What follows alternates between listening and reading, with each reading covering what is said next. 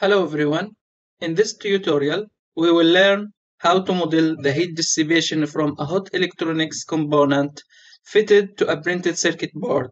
Heat is dissipated via a finned heat sink. Now open the Fluent launcher from Start menu and then make sure you select the meshing mode and then take double precision and type for meshing processes as well as for solver processes and click start.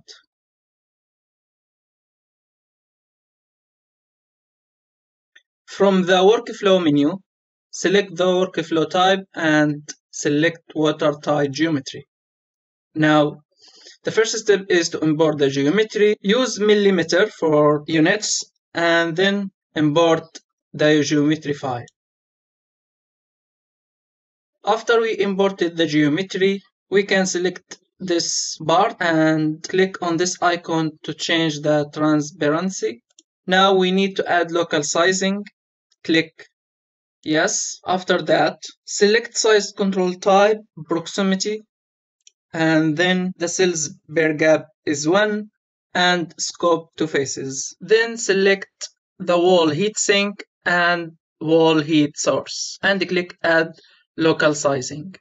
The next step is to generate the surface mesh. Reduce the maximum size to 20 millimeter and then click generate the surface mesh. As you can see, the maximum skewness is 0.53, which is good. Now the next step is to describe the geometry. The geometry consists of only solid regions and yes, cap openings and extract fluid regions and there will be no fluid fluid boundary types so the setting will have no effect in this model so keep the other settings as default and click describe geometry. The next step is to enclose fluid regions. Select inlet 1 and select the zone type to pressure inlet and click create cap. Then select outlet and select the zone type to be pressure outlet and click create cap. As you can see, we enclosed the fluid regions by marking the inlet and outlet surfaces. The next step is to create region. The estimated number of fluid regions is 1, so click create regions. Then we need to update regions. The solid housing will be dead region and we have here the solid heat source, the solid heat sink, and the solid board are solid, and then the fluid region is fluid. Click update regions. As you can see, we have here the domain is ready for simulation. The next step is to add boundary layers. Keep the settings as default and click add boundary layers.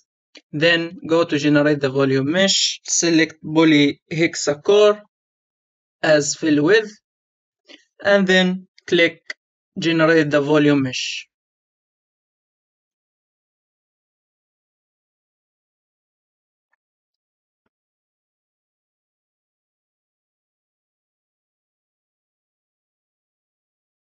As you can see, the minimum orthogonal quality is 0.17, which is acceptable. Now we can go to the next step and switch to solution. But before that, let us save the mesh file go to file menu and select write mesh and select the legacy compressed mesh files and name it heatsink and click OK. Now let us click switch to solution. The first step is to go to units and change the temperature unit from Kelvin to Celsius. And then click close. Then select the solver type and the physics settings. So we have here the time is steady, the solver type is pressure based. Now from physics tab, take energy. In this uh, problem, the flow is laminar. So change the viscous settings to laminar flow and click OK. Then we need to enable the radiation. So double click on radiation and select surface to surface model then click on settings. For a small and simple geometry such as this, the settings are good. So in this case, click OK and then click compute, write, read and then click OK. While Fluent computes the view factors, progress is reported in the console window as you can see here. As you can see here, view factors have been read successfully. Now click OK to close the radiation model panel. Then we need to define the material. So close the models tab, click double click on materials, change the density setting from constant to incompressible, ideal gas, and click change create and then close. In most natural convection problems, the change of density with temperature drives the flow. The changes in pressure over the domain are minimal and their effect on density negligible. Hence, the incompressible ideal gas density formulation can be used instead of the fully compressible ideal gas model. Now, let us define the solid material double click on aluminium and select go to Fluent database and change the material type to solid and select copper. And click copy close change create close. Now we need to add a new solid material so modify the copper material to produce the PCB material. The PCB material is FR4 and then delete the chemical formula change the density to 1250 and the Cp to 1300 and the thermal conductivity 0.35 and click change create. Now change create mixture and override copper, select no, and then click close. So we have here three materials, aluminium, copper, and FR4 for the PCB. Then we need to add a new material, so double click on copper, rename the material to component, and delete the chemical formula, and then type the density 1900, the Cp 795, and the thermal conductivity 10, and then click change create, change create mixture and overwrite copper click no, and then click close. So we have here the four materials. Now let us define the cell zone conditions. We have here the solid board, the solid heatsink, and the solid heat source. Double click on the solid board and change the material to FR4 and click apply close. Similarly, the heatsink is made of copper, so double click on heatsink and change aluminium to copper and click apply close. Double click on solid heat source and select the material to component and tick source terms and then define the number of energy sources which is 1 and then select constant and we need to set the thermal power 75 watt which is dissipated by this component. The component volume is 0.118 multiplied by 10 to the power of minus 3. So the volumetric source is 635,000 watt per cubic meter and click OK. And then click apply, close. Now we need to define the operating conditions. So take a gravity and then define the y as minus 9.81 and then take variable density parameters and select specified operating density and select it 1.11. For most natural convection problems with pressure boundaries, it is recommended to set operating density to a value corresponding to the ambient temperature and pressure outside the domain. Here that is 1 bar and 318 Kelvin. Click OK to close the operating condition Now let us move and define boundary conditions. Double click on boundary conditions and double click on pressure inlet. From thermal, change the total temperature to 45 and click apply and then close. Double click on pressure outlet and define the backflow total temperature 45 Celsius. Apply, close. Now let us define radiation boundary conditions at walls. Double click on solid housing and enter a value of 0.9 for internal emissivity. And then click apply close. Similarly, set internal emissivity for the following walls, wall heat source, internal emissivity 0.3, apply, close. Wall board 0.9, apply, close. And then wall heat sink 0.9, apply. Now go to solution tab and click on definitions, new, and then volume report and select volume average. Rename it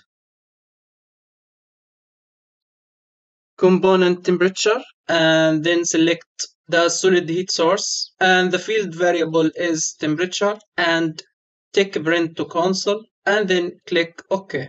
Double click on methods and then make sure the scheme is coupled and the pressure is body force weighted.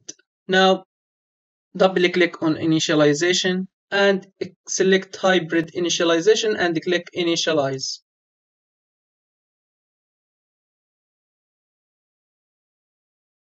Now double click on run calculation. Under fluid time scale, change the time step method to user specified and change the time step size to 3 seconds and also under solid time scale change the time step method to user specified and change the time step size to 2000 seconds set the number of iteration to 150 and click calculate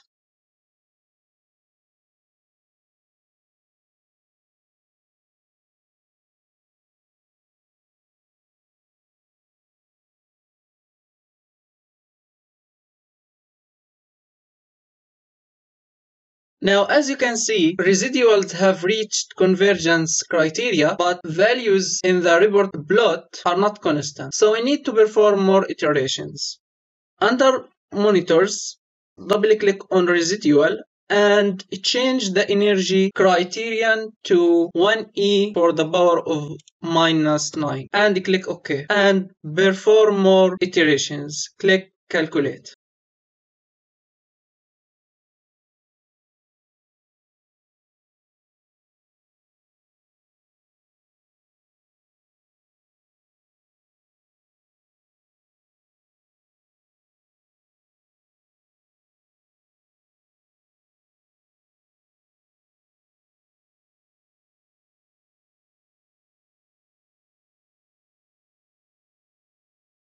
Now the solution is converged and the values in the report plot are constant. Now from results tab, double click on fluxes and select the total heat transfer rate. Select all the surfaces and click compute. As you can see here, the total heat generation rate is 75 watt, which close to what we defined in the energy source. So the net imbalance is 0.49 watt, which is less than 1%. So we can say it is okay and then click close. Now let us check the final temperature. Go to solution and from definition click edit and click on the component temperature and click compute. And you can see here the final temperature is 93.8 Celsius. And then click close to calculate the maximum component temperature, from Results tab, click on Volume Integrals and select Maximum. And the field variable will be temperature and select the solid heat source and then click Compute. You will see the maximum temperature is 94.6 and then click close. Now let us add isosurface for flow visualization.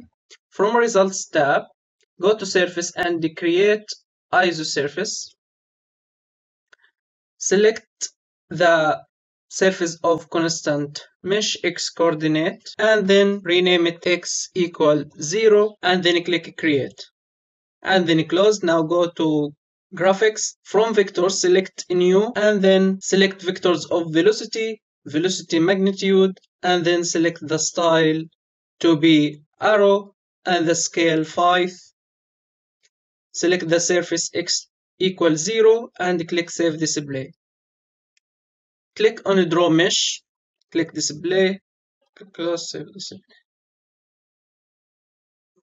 As you can see vectors show the formation and development of a wall bloom above the heated component. Now let us define contour plot select contours of temperature and static temperature and select the walls and then click save display and as you can see here the static temperature on the heat sink and the PCB now actually we can combine the contour and vector on a single plot go to scene double click on scene and select the vector and contour and click save display. As you can see we combine the static temperature contour with the velocity magnitude vector on a single window. And here we have finished our tutorial. Thanks for watching See you soon. Goodbye.